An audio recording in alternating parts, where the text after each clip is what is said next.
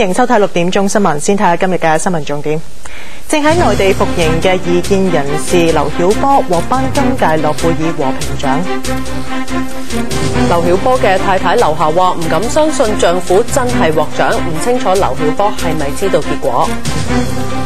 評審委員會就話頒獎俾劉曉波係表揚佢長期以非暴力方式爭取人權。詳盡嘅新聞內容，正喺內地服刑嘅意見人士劉曉波獲頒今屆諾貝爾和平獎，以表揚佢長期以非暴力嘅方式喺內地爭取人權。劉曉波呢係繼前南非前總統曼德拉同埋緬甸反對派領袖昂山素基之後，第三個正喺度服刑嘅意見人士獲頒諾貝爾和平獎。先由孫少勤講下劉曉波嘅簡歷。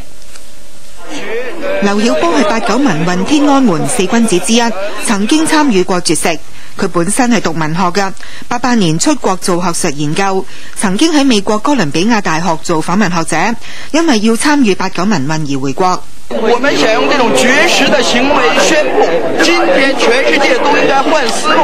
今天中国人民醒来了，中国人民有能力、有权利、有自信来决定自己的命运。八九年六月，刘晓波被指触犯反革命宣传煽动罪而被捕。由八九民运开始，刘晓波就透过写作参与推动中国民主言论自由同埋改善人权嘅活动。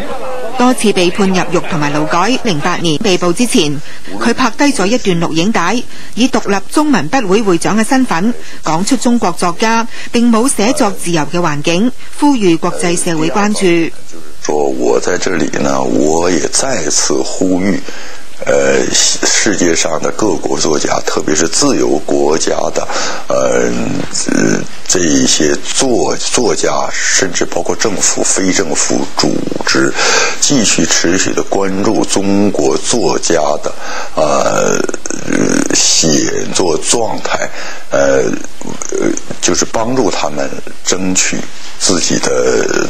呃，写作自由吧。劉曉波喺九九年底獲得釋放之後，就喺北京從事寫作，發表有關六四事件嘅言論，呼籲平反六四。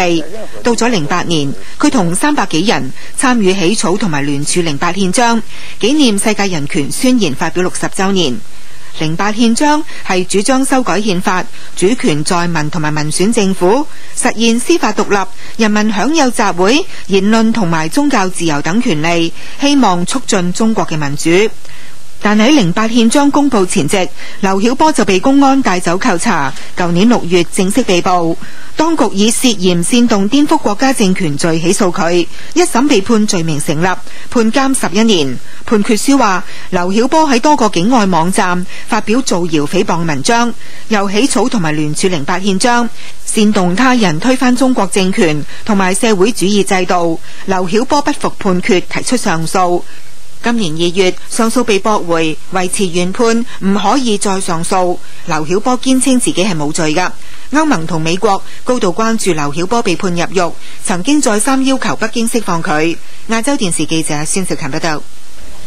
劉曉波嘅太太劉霞就話：每個月只能够探丈夫一次，唔清楚劉曉波係咪知道結果。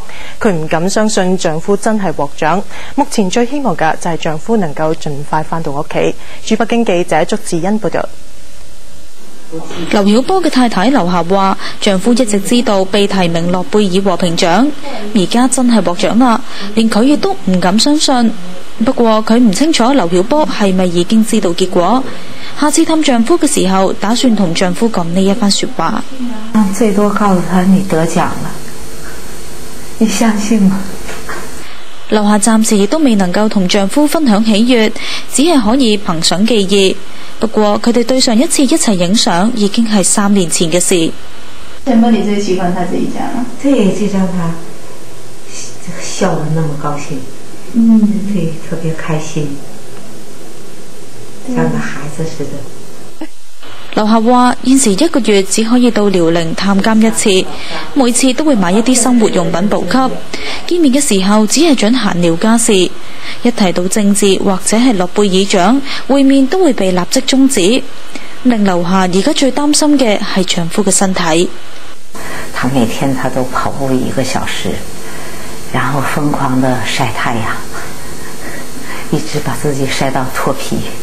监狱医院检查是，一个是他是老胃病嘛，还有一个就是说乙型肝炎未确诊。年底就五十五歲嘅劉曉波，因為起草同埋聯署零八憲章被捕。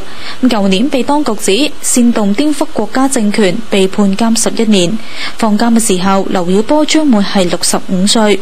劉俠話已經學會唔再傷感。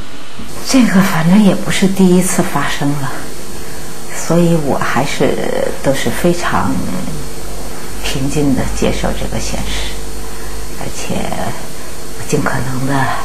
照顾好我自己，这是让他放心的最好的方式。亚洲電視駐北京記者祝子欣報道。我哋接通咗喺北京嘅祝子欣噶，而家你就喺咧劉曉波太太樓下屋企外邊噶，你嗰邊最新嘅情況係點樣呢？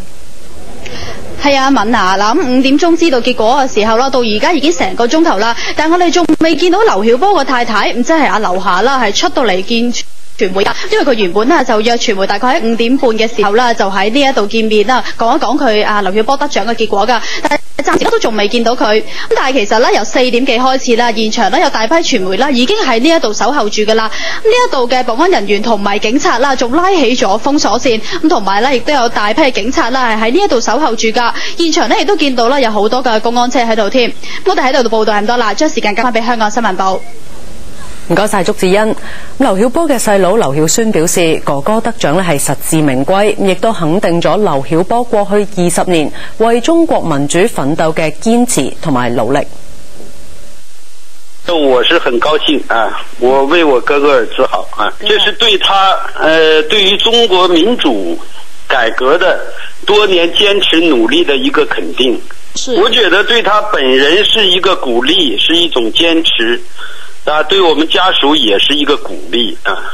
嗯嗯，我认为这个奖呢，他得的是值的啊，是实至名归的，因为他为中国的民主事业几乎是奋斗了一生了啊！从八九年到现在已经二十多年了。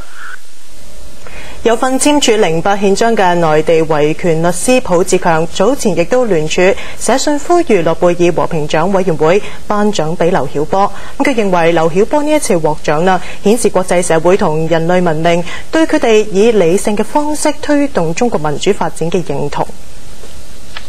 我們改良中國，個建設和諧，呃，走向現代化呢，應該走這樣的路。我想呢，劉曉波本身的獲獎。既说明国际社会和人类文明对他的这样的一种一种见解和坚持的承认，同时也为我们把中国的事情做得更好，来这个呃聚集起更多的人呢，这个沿着这种和平、民主和非暴力的方式来改变中国，来提供一个新的可能和起点。啊，也希望呢，这个诺贝尔和平奖颁奖委员会的这样的一个决定啊，能够对中共的这样的一个统治当局最高领导人。能够对中国人产生一种触动，能够知道呢，除了除了这个，呃，达赖喇嘛，那么其他的中国人也同样可以能够得到这个世界的承认。咁八九年嘅时候喺天安门广场同刘晓波一齐绝食嘅周陀子，刘晓波为中国民主作出好大牺牲。我们当然非常高興，嗯，这是这是当然是个大好事啊。意义就是他会极大的鼓舞和支持中国的自由民主运动，所以我们去绝食发表了一个六二绝食宣言。当时提出的主要的诉求就是我们没有敌人，嗯，就是希望学生和政府之间能够通过一种和平的方式来解决这个当时的这种双方之间的对立。是不是一定要牺牲才可以拿到呢？從中国的情况来说，恐怕是这样。諾貝爾和平獎評審委員會話，頒獎俾劉曉波係表揚佢長期以非暴力方式爭取基本人權。陳雅山報道。The Norwegian Nobel Committee has decided to award the Nobel Peace Prize for 2010 to Liu Xiaobo for his long and non-violent struggle for fundamental human rights in China. The Norwegian Nobel Committee has long believed that there is a close connection between